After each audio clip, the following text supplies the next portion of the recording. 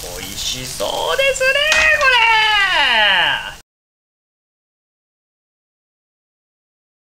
れ。どうもリュですということでです。ねあまりにも一発目の至高のレシピが美味しすぎてやりすぎてしまったんですけどもとりあえずですね体も温まってきたところでですねさらに体を温めてヒートエンドしたいと。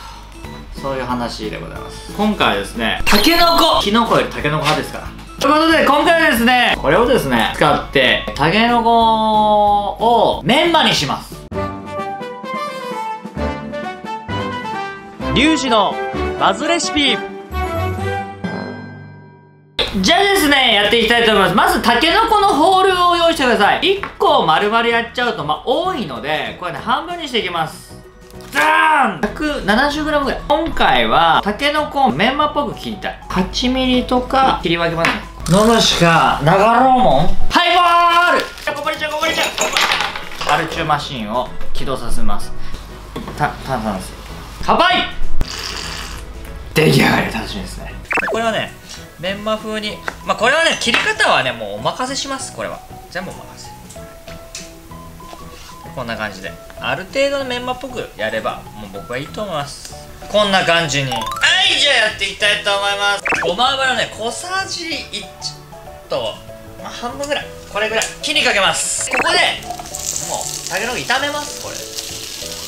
ごま油ね。ごま油重要ですよ。ちゃんとねいりますこれは。結構ねや焼きます。あの水煮のたけのこって水につけてあるんでやっぱり水分が多いので味を凝縮させるために結構炒めていく。僕僕の場合ですよ。僕はですよ小さじ3分の1味の素。はね7振り。1234567振り。で炒めて水分を飛ばして味を凝縮していく。ここに胡椒。思ってる2倍ぐらいね。大体ね小さじね半分ぐらいですこれ。これぐらい。でこれで香りをつけていく。まあこの匂いで。もうこのこの醤油の焦げた匂いでいける。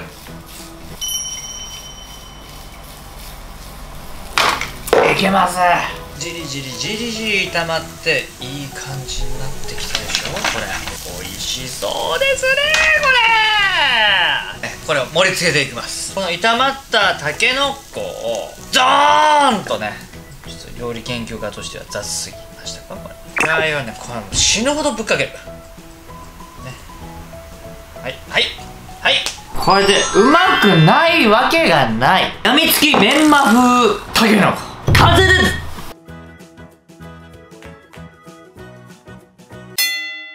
はいそれでは手がしに食べていきたいと思います。いただきます。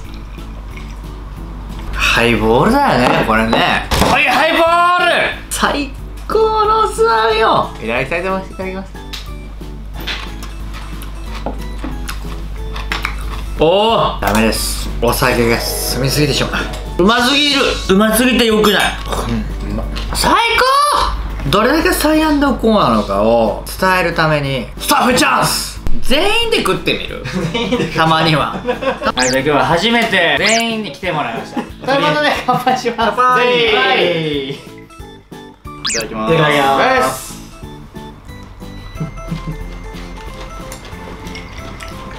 うまっ僕飲めない人間ですけどこれはいけますよ。いやいやいやいやいや。うまっ。ビールにめっちゃ合うビールめっちゃ合うでしょめっちゃ合うでしょ。そして達也君。いや俺コメントしましたよ。え何何て言った今？あカカットされました。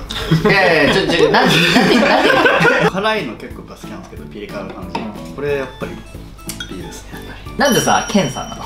なんでケンさんなのリスペクト体立てがちょっとずるい天才料理研究家。そうそうでしょ？最強あーね。さすがえ来ました皆さん。唯一無二。酒に合うものを作らせたらね火に出るものはいませんよ。ということでこんな感じになりましたけどこれからもこのスタッフ一同やっていきますので皆さんよろしくお願いします。お願いします。よろしくお願いします。めちゃめちゃ美味しかったということで皆さんもぜひビールもハイボールも超進むんでぜひ試してみてください。じゃあちょっとでもこれはやっぱりスタッフチャンスって言ってもやっぱ酒飲みのあれなので酒飲み。